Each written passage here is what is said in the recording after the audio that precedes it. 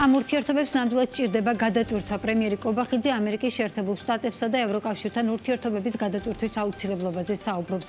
იმ ფონზე, როდესაც ამერიკის შეერთებულმა შტატებმა საქართველოსთან ურთიერთობების გადახედვა გამოაცხადა ევროკავშირმა კი ევროპული სამშვიდობო ფონდიდან 30 მილიონი ევროს ტრანში და საქართველოს ევროკავშირში გაწევრიანების პროცესის შეაჩერა. განსაზღვრული ბადით გადაიდო ღირსეული პარტნიორის სწავლებაც. კობახიძე ამ გადაწყვეტილებებს კონტრპროდუქტიულს უწოდებს და ირწმუნება, რომ მისი მეთაურობით ხელისუფლება ხდება ურთიერთობების გადატვირთვისთვის მზად არის და შემთხვევით ნაბიჯებს ელოდება. BMT-ის მთავარი რედაქტორი თელარა გელანტია შემოგვიერთდება ახლა პირდაპირ ეთერში, რომელმაც დღეს თავდაცვის მინისტრსაც კითხა, რატომ ვერ გაიგო მთავრობამ სტრატეგიული პარტნიორების დაჟინებული გაფრთხილებები, რა მოხდებოდა რუსული სტილის კანონის ამოქმედებას, რა პასუხები მივიღეთ ამას თელარა გვეტყვის, თელარა გისმენთ. გამარჯობა.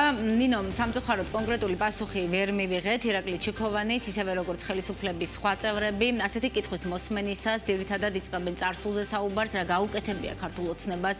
ბოლო 12 წლის განმავლობაში საქართველოს ევროატლანტიკური ინტეგრაციისთვის და არც ირაკლი ჩიქოვანი იყო გამონაკლისი. შეგვიძლია თავად მოვისმინოთ თავდაცვის მინისტრის კომენტარი ამ თემაზე მე ვარ იმ თავრობის და იმ ხელისუფლების წარმომადგენელი, რომელსაც აქვს ძალიან ბევრი გაკეთებული იმისათვის, რომ ქვეყნის ევროატლანტიკური, ევროპული და ევროატლანტიკური ინტეგრაცია იქნა უზრუნველყოფილი. ეს არის თავრობა, ეს არის ხელისუფლება, რომელმაც უზრუნველყო, რომ ხელი მოაწერა ასოცირების შეთანხმებას, ძალიან დიდი და უზარმაზარი სამუშაო გააკეთა იმისათვის, რომ ჩვენ დავაგრძელებთ ამ სამუშაოს კეთებას, იმისათვის, რომ მოხდეს ჰარმონიზაცია ჩვენი კანონმდებლობის და მოხდეს ურთიერთთანხმება ევროკავშირის სტანდარტებთან.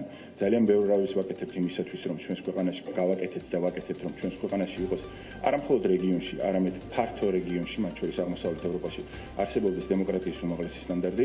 მეორე მხრივ, ეს არის ხელისუფლება, რომლის პირობებშიც არაერთი რამ გაკეთებულია. ახლა რაც აკეთებდეს გვაინტერესებს მომავალი ბატონო ირაკლი, რომელიც ძალიან ბუნდოვანია საქართველოსი ევროკავშირის და ამერიკის პარტნიორობის გარეშე. წინ გავიხედოთ რა ჩან. როდესაც 26 ოქტომბერს მიიღებს ქართული საზოგადოება საქართველოს მოქალაქეები მიიღებენ გადაწყვეტილებას და გააკეთებენ არჩევანს იმისათვის, რომ ხარი დაუჭირონ ჩვენი ქვეყნის შვიდობიან, სტაბილურ და თანმიმდევრულ განვითარებას, რომელმაც საბოლოო ჯამში უნდა მიგვიყვანოს ევროპულ და ევროატლანტიკურ ინტეგრაციამდე, დარწმუნებული ვარ, რომ ისინი ამას რა თქმა უნდა ირაკლი ჩიქოვანთან დღეს ჩემი კოლეგების კითხვების დიდი ნაწილი შეეხებოდა ვაშინგტონის სამიტის დეკლარაციას რომელიც არ იმეორებს ჩანაწერს რომ საქართველოს გახდება ნატოს წევრი. კითხვაზე აღიარებს თუ არა მინისტრი რომ უკუსლა ურთიერთობების მიმართულებით ირაკლი ჩიქოვანმა ზოგადი ტექსტით უპასუხა რომ მას სჯერა ნატოს გაფართოების და რომ საქართველოს ევროატლანტიკურ სივრცეში ინტეგრაცია წერია კონსტიტუციაში. ამასთან მან დასანანი და გაუგებარი უწოდა ამერიკის შეერთებული შტატების და ევროკავშირის გადაწყვეტილებას სამხედრო დახმარების შეჩერებაზე. იგივე ნარატივი ჰქონდა ირაკლი კობახიძესაც, რომელმაც მთავრობის ხდომის დაწყებამდე პარტნიორების გადაწყვეტილებას უწოდა სამწუხარო და ისაუბრა გადატვირთვის საჭიროებაზე.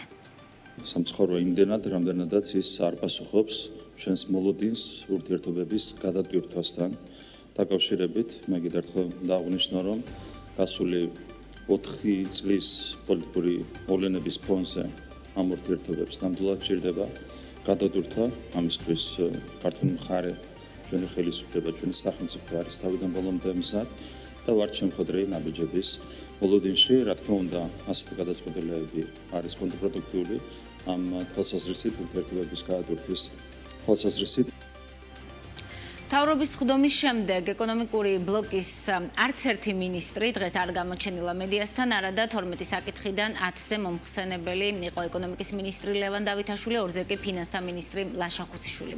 თავად ირაკლი კობახიძემ კი თავრობის ხდომის დაწყებამდე კიდევ ერთხელ შეგვახსენა, რომ მაღალმა ეკონომიკურმა ზრდამ თავრობას მისცა საშუალება 2024 წლის ბიუჯეტი 519 მილიონი ლარით გაზარდონ და ჩამოთვალა უწყებები, ვის რამდენი დაემატება დასახარჯად ასევე ირაკლი კობახიძემ დღეს ნათია თურნავა შეაქო, რომ თურმე მან სწორი პოლიტიკით მოახერხა ლარის კურსის დასტაბილურება.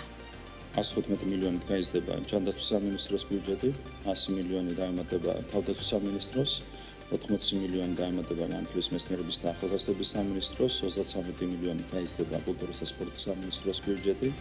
10 მილიონი დაემატება შინაგანსაკუთრებთა სამინისტროს, 10 მილიონი რეგიონ განვითარებას და ინფრასტრუქტურას, 6 მილიონი გაიზრდება საგარეო საქმეთა სამინისტროს ბიუჯეტი, ცესკოს დაემატება 3 მილიონი ლარი.